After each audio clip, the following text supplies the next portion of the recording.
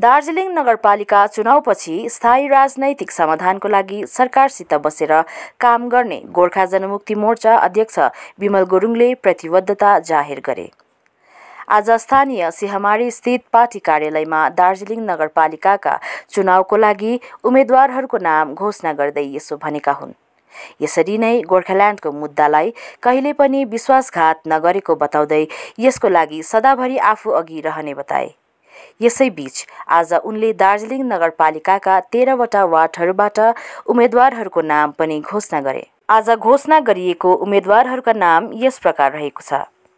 तिन number ward पाल्मु Yolmo लामा पाँच number ward Devraj Rai नौ नम्बर वार्ड सुनिता मोथे दस नम्बर वार्ड अङ्मु छिरिङ भुटिया एघार नम्बर वार्ड कामी शेर्पा सत्र नम्बर वार्ड कृष्ण बर्मे एक्काइस नम्बर वार्ड विनिता तामाङ बाइस नम्बर वार्ड ज्ञाने सिंह चौबिस नम्बर वार्ड ध्रुव तामाङ सत्ताइस नम्बर वार्ड प्रवीण कालीकोटे अठाइस नम्बर वार्ड कल्पना तामाङ उन्तिस नम्बर वार्ड मनोज थापा तिस नम्बर वार्ड अम्बिका शर्मा।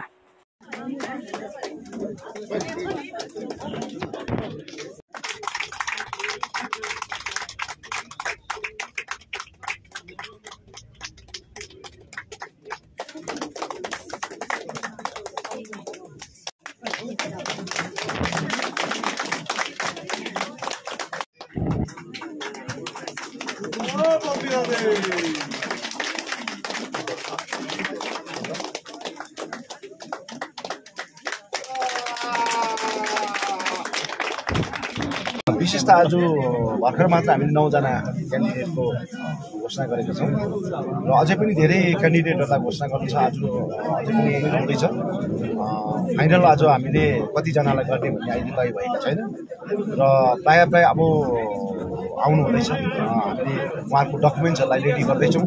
तल हाम्रो लिगल टिमहरू बसेर उहाँहरूले डकुमेन्ट्स रेडी गर्दैछ।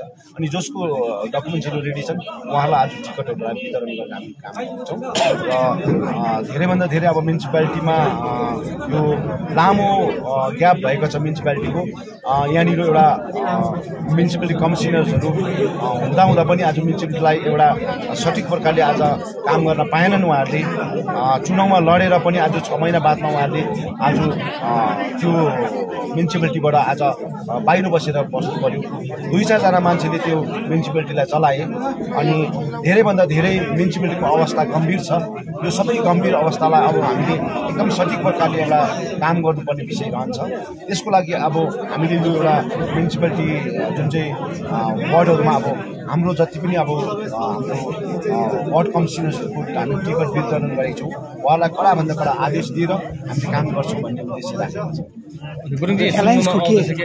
हिल टिएमसीसँग तपाईँको गठबन्धन हुँदैछ बाइस सिट गोर्खा जनमुक्ति मोर्चाले पाउँदैछ दसवटा सिट टिएमसीमा त यो विषयमा के भन्नुहुन्छ? गठबन्धन भन्ने कुरोमा त हिजो हामी दुई हजार एक्काइसमा गठबन्धन भयौँ। अनि कुनै पनि चिज राजनीतिमा अब धेरै सोचेर सम्झेर काम गर्नुपर्छ। किनभने पहाडको स्थिति परिस्थितिलाई सठिक प्रकारले आज कर्ममा परिणत गर्नको लागि हामीले राजनीति गर्नुपर्छ भन्ने विषय पनि रहन्छ। हामीले कुनै पनि फाइदा लिनुलाई जस्तै पोलिटिकल समाधानको लागि मेन हाम्रो थिम हो। पोलिटिकल समाधानको लागि आज काम गर्दाखेरि हामीले सरकारसँग नै वार्तालाप गर्नुपर्छ। अनि सरकारसँग वार्तालाप गर्दाखेरि हामीले उहाँहरूसँग एउटा दाइजो राम्रो मिलाउनुपर्छ उहाँहरूसँग एउटा नीति राम्रो मिलाउनुपर्छ आदान प्रदान राम्रो गराउनुपर्छ भन्ने कुरोमा भोलिको दिनमा पोलिटिकल समाधानको लागि केही कुरो हामीले माग्न जाँदाखेरि उहाँहरूमा अनि हाम्रो माझमा एकदमै मिठो प्रकारको बस होस् मिठो प्रकारको एउटा तालमेल होस् भन्ने कुरोमा चाहिँ हामीले आजको यो रणनीति बनाएर काम गर्न चाहेको छ। गोर्खा जनमुक्ति मोर्चाको कतिजना क्यान्डिडेट हुन्छ यो चुनावमा? अहिले घरि त हामीले प्रायः प्रायः हाम्रो क्यान्डिडेट अहिले घोषणा भइरहेको छन्।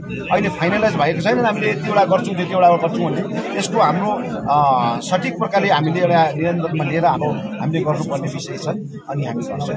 बत्तिसवटा बत्तिसवटा दिनुहुन्छ? प्रायः प्रायः हामीले एकदमै त्यो हिसाबमै जान्छ तर हामीले मैले भनिहालेँ राजनीतिकमा हामीले कसैलाई दुश्मनीको तरिकाले हेरेका छैनौँ सबैलाई मित्रताको तरिकाले हेरेका छौँ। अनि कोसँग गठबन्धन गर्नु परेर कोसँग गठबन्धन गरेर आज मेरो पहाडको भविष्य मेरो जातिको भविष्य मेरो पोलिटिकल समाधानको कुरा अनि मेरो छोराछोरीको रोजगारको विषयहरूमा पहाडको उन्नतिको विषयमा काम गर्नुपर्छ त्यो हैसियतमा म काम गर्छु। मुद्दा के रहनेछ नेपाली मुद्दा के रहनेछ तपाईँहरूको? मुद्दा त मैले भने गोर्खाल्यान्डको मुद्दालाई मैले कहिले पनि विश्वासघात गरेको छुइनँ अनि गर्दिनँ। आज पनि छु भोलि पनि छु पर्सि पनि छु। यसलाई म कहिले पनि मुकेश गर्न सक्दैन।